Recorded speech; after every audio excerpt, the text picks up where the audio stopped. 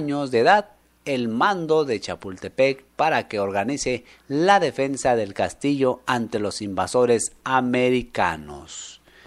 Un día como hoy, pero de 1870, en Tepic, Nayarit, nace Amado Nervo, mejor conocido, ¿verdad?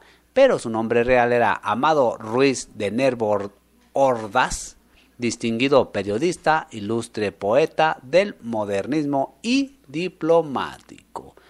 Estas fueron las efemérides del día de hoy.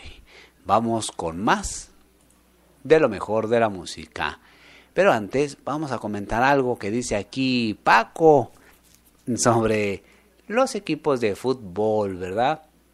Bueno, Paco es muy amante, muy aficionado y lo, el único error que tiene es al equipo que le va, al América, ¿verdad?